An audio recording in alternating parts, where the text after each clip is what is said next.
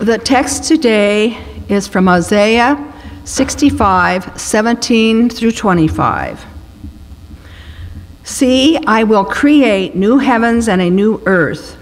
The former things will not be remembered, or will they come to mind, but be glad and rejoice forever in what I will create. For I will create Jerusalem to be a delight, and its people a joy. I will rejoice over Jerusalem and take delight in my people. The sound of weeping and of crying will be heard no more. Never again will there be in it an infant who lasts but a few days, or an old man who does not live out his years. The one who dies at a hundred will be thought to be a mere child. The one who fails to reach a hundred will be considered accursed. They will build houses and dwell in them, and they will plant vineyards and eat their fruit. No longer will they build houses and others live in them, or plant and others eat. For as the days of a tree, so will be the days of my people. My chosen ones will long enjoy the work of their hands. They will not labor in vain, nor will they bear children doomed to misfortune. For they will be blessed, people blessed by the Lord. They will, and their descendants with them. Before they call, I will answer. While they are still speaking, I will hear. The wolf and the lamb will feed together, and the lion will eat straw like the ox, and dust will be the serpent's food. They will neither harm nor destroy on my holy mountain, says the Lord.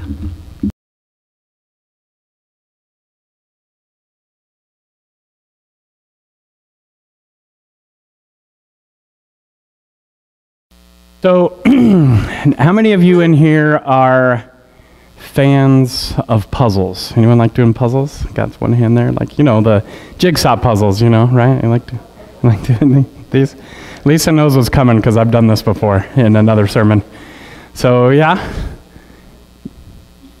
Yes, one, yeah, yeah. Some people. All right. What is it you like doing about puzzles? Why are they? Why are they so fun? I like puzzles, you know, in theory. I don't do them very often, but uh, they're, they're cool. They're all right. And I brought a couple here. You know, these are a couple of uh, thousand piece puzzles, you know, and they're kind of challenging, right? I mean, already, just because they're thousand piecers. And then, uh, but also these are mosaic, photo mosaic ones, you know? So they're, uh, each individual piece is a different photo, you know, and but, huh? It's six photos? Oh, it's six photos on each piece. Okay. So, uh, yeah, you can tell these aren't mine, of course, but they, uh, they're difficult, they're challenging. Now, when you put together a puzzle, what is essential that you have? Oh, well, of course, yes, all the pieces. That's, all, that's always nice, right? But even uh, you don't really know until the end that you have all the pieces, right? So there's something from the very beginning that's very helpful for you to have a resource. You can rely a picture on the yeah, on the box, right? Of course. Now, Lisa, she likes doing these puzzles, right? A lot. Yeah, there's a fold out picture inside too that you can fold out. But yes, right? You, having a photo to follow of the completed puzzle is very helpful. It's often on the lid of the box. Now, when I'm feeling a little, you know, a little, uh, a little pranksterish, a little bit, one thing that I like to do is this. Have you ever had this happen before? Like, uh, maybe, hopefully, no one does this in the store, but maybe you like to take the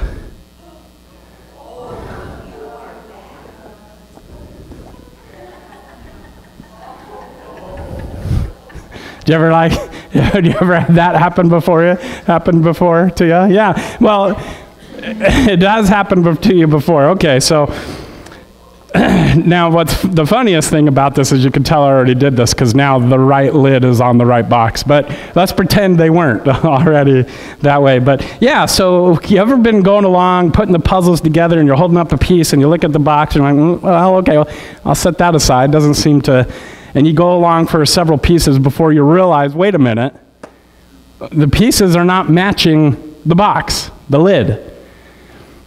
And uh, what you end up having to do then is, if you, especially if you don't can't find the other box that maybe somebody switched with you, what, you, what do you have to do? you have to kind of what do you, do you continue to just follow the lid on the box, or what do you do? You just kind of you hope you, you stay faithful to the pieces, don't you? You're like, okay, obviously the lid is not matching up. I'm going to have to just work with the pieces I have and see see what happens. Now, I have to tell you I've been in uh, ministry myself. Uh, well, it'll be almost, you know, paid ministry, almost, almost 15, 16, almost 17 years. And of, of, course, I grew up in church before that. I've been reading the Bible since I was probably, you know, five, four or five. Been reading different uh, versions of the Bible since I was four or five. And I don't know about you or anyone else, but I have found myself frustrated from time to time during these many years of reading the Bible and being involved in church because I suspect that I was given the wrong lid. You ever, ever have that feeling before? I like the pieces. But when I try to figure out how they go together, I think I've been looking at the wrong lid. One of the things that I hope that I can accomplish as a minister, as a pastor, is I want to help people examine their lids on the Bible puzzle box that they've been given. And if I can't help people find the right lid, I at least don't want to hand them the wrong lid. There are a lot of things I think the church has gotten right but there's a lot of things I think in human history we've gotten backwards. Whoever, for example, came up with the bright idea that the way to motivate people to do better in life was to tell them just how rotten they are, I think that's the wrong lid. I think uh, that, I mean, does that, did that ever work for you as a kid? I know it doesn't work for my kids if I motivate them by trying to tell them how rotten they are first. It just doesn't seem to work. Now, before you turn me in, I don't do, I've not really uh, tried that, but uh, it doesn't really work usually. And where it is, is it written that the way to convince people to have faith in God is to threaten them with horrible torture for all eternity? And why in the world did they depict God as one who essentially hates most of the people who have ever lived? Well, I think this also appears, uh, applies to popular notions about the end of the world. You know? Where did people ever come up with the idea that God is planning on destroying everything and massacring nearly everybody? And yet, if you listen to what a lot of times the church has said about the end of the world, it would seem that is precisely the lid of the box that they're working from. So here's the ultimate contradiction that I found, at least growing up that those who claim to be people of faith turn out to be the ultimate pessimists. That is a, when they're talking about the destiny of everyone else. And yet, amid all of this fear mongering, what I would consider to be the heart of the Bible's message continues to hold out a beautiful and exciting hope. And I find that very perspective in our reading today in Isaiah. One of the first things that stands out to me is that uh, the very realistic nature of the destiny that the prophet saw is this ultimate outcome that God has in store. And he says it this way No more shall there be in it an infant that lives but a few days or an old person who does not live out a lifetime. Or, and they shall build houses and inhabit them. They shall plant vineyards and eat their fruit. And they shall not hurt or destroy on all my holy mountain. It's a vision of people thriving, of God's children thriving, and of people living full and fulfilling lives. It's a vision of houses built and vineyards planted. It's a vision that includes even natural enemies in the animal kingdom, even, living together in harmony.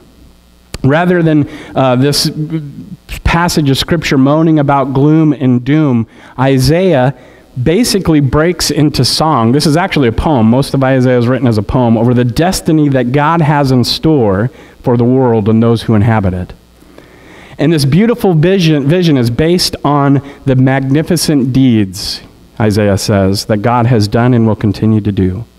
It began with the covenant that consisted of a promise to Israel's ancestors and, and leaders that God would give them a gift of peace that would enable them to thrive. But over the centuries, the covenant was broken. I mean, we, we do that sometimes. We break covenants, and peace gets marred by corruption and injustice. That happens.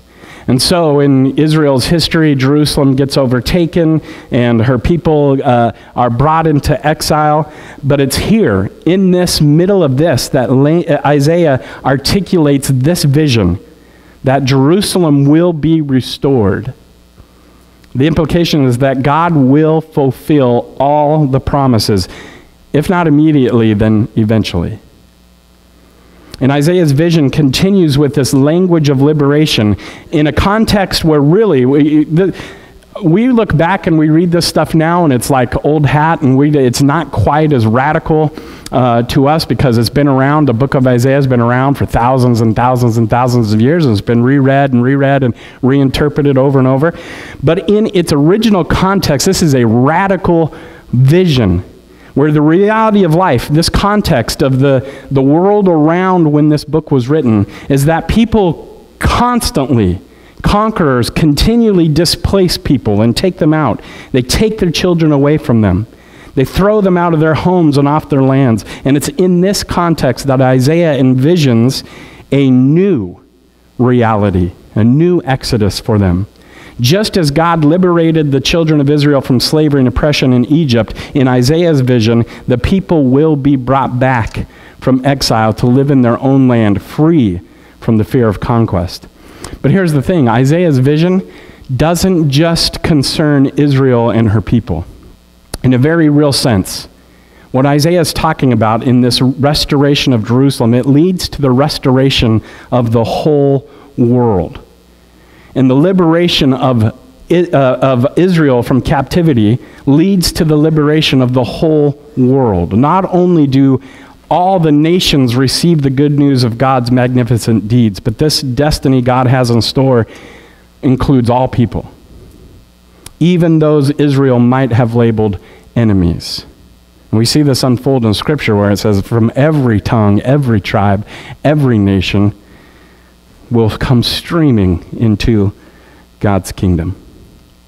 Isaiah's vision even extends to, the, to creation. Even the animal kingdom is to be transformed when God fulfills the promises and liberates the people. Indeed, Isaiah puts all of this under the heading of a new heaven and new earth, a whole new creation that is very good, just as the original creation was at the beginning. Now, what a vision this is. That is stark contradiction to the puzzle box lid that a lot of people have. People who delight in painting God as some kind of uh, long term torturer.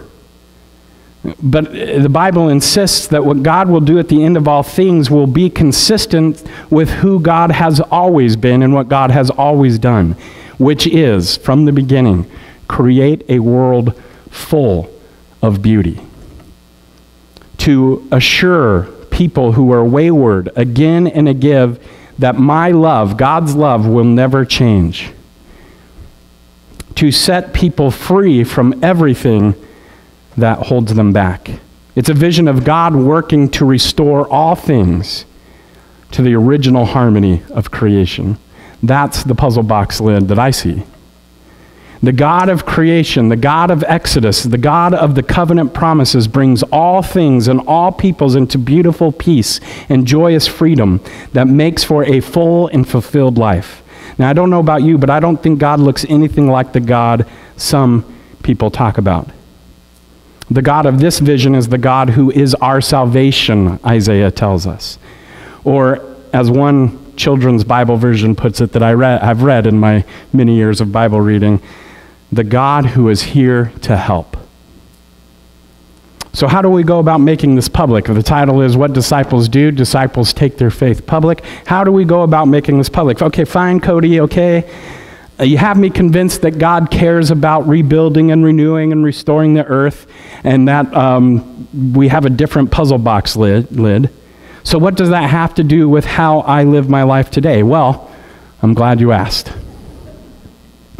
Because in this passage, Isaiah says specifically, No more shall there be in it an infant that lives but a few days. So, in God's reality, infant mortality does not exist. Therefore, issues like health insurance and prenatal care are issues that people who follow God ought to be concerned about and do something about.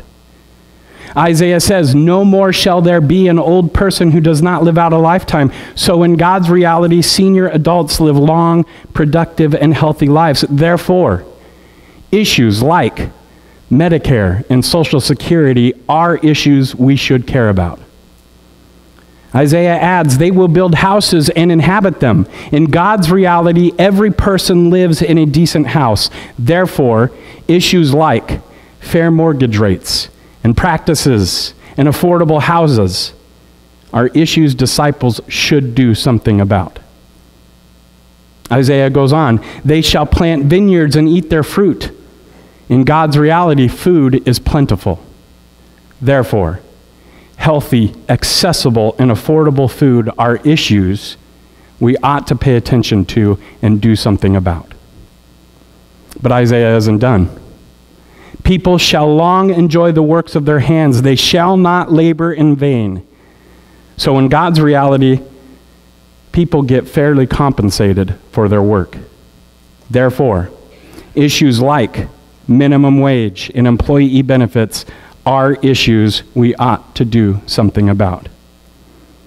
People will not bear children for calamity, Isaiah further says. That means that in God's reality, children thrive.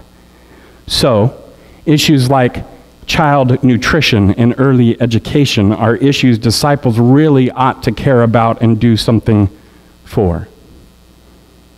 And Isaiah talks about a day when the wolf and the lamb shall feed together, the lion shall eat straw like the ox. They shall not hurt or destroy on all my holy mountain. Which I take to mean that in God's reality, violence and warfare don't even exist. Therefore, followers of God work on helping bring peace between people and nations as a major concern and undertaking. Because these issues matter to God, they should also matter to the people of God. God invites us all to be a part of that. Because the pieces in the box tell me that it's the very people that God rescues who are the people who get to participate in the renewing and rebuilding and the restoring. The lid a lot of us were given says that God cares about souls, but not about bodies. God cares about you going to church, but doesn't care how you interact with the oppressed. That God cares only about personal sins like swearing and lying and cheating and the wrong kind of sex, but then it's as if God has nothing to say about unjust governments and bad laws and evil systems and system, systemic problems like racism brothers and sisters, if that's the way it seems to you, then somebody switched your lid. This passage can help us get the right lid back. God has an invitation to us. Jesus invites us to join in the renewing and the rebuilding and the restoring.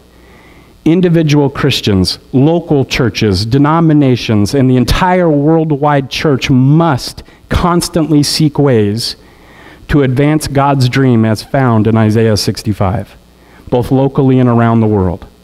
This is how we take our faith public.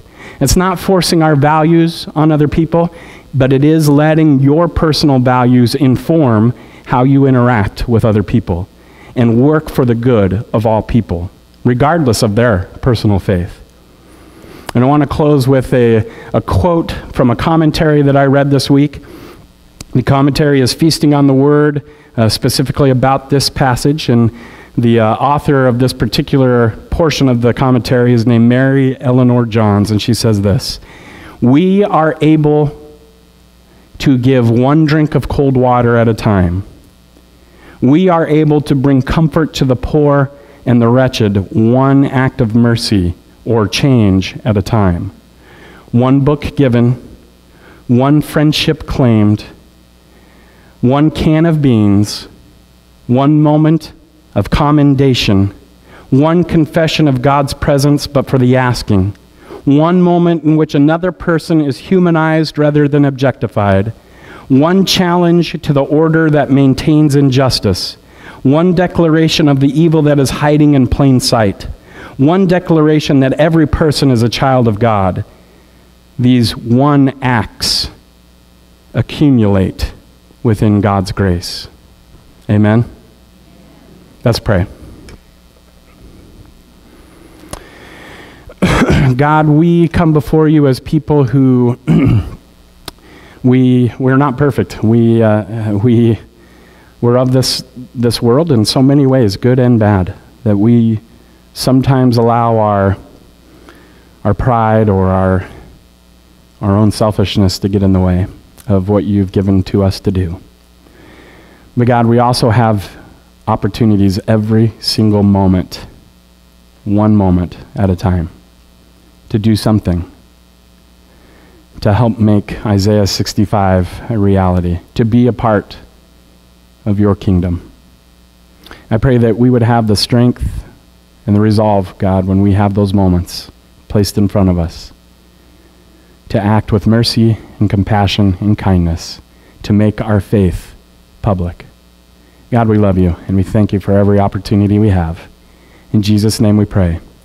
Amen.